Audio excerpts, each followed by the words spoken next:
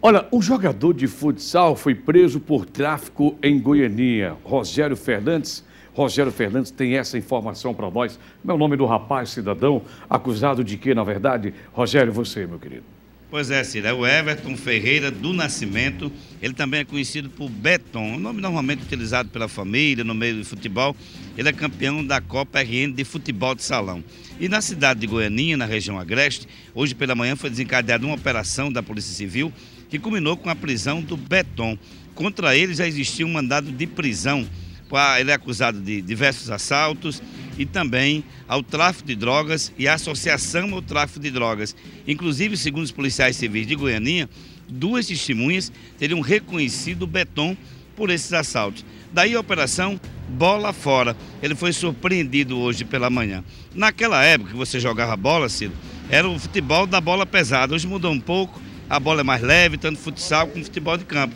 E daí, bola fora. Era melhor jogar com a bola pesada do que com outras bolas que só levam ao mundo do crime. A operação bola fora, Rogério, botou bola na cadeia o beton, né?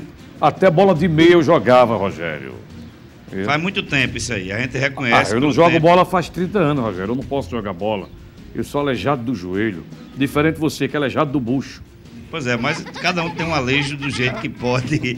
Então o Beton está preso, acusado de tráfico de drogas, associação ao tráfico, assaltos, bola fora, hein? Ciro tá aí, grande jogador. Tá aí a imagem dele.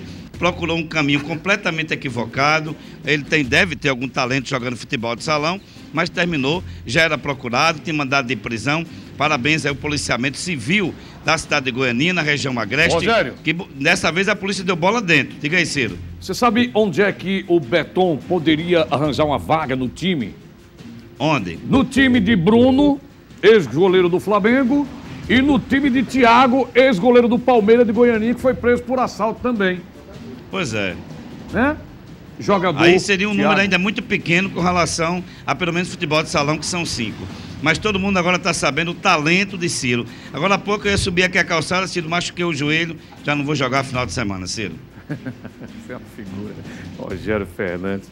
Você joga nem baralho, Rogério.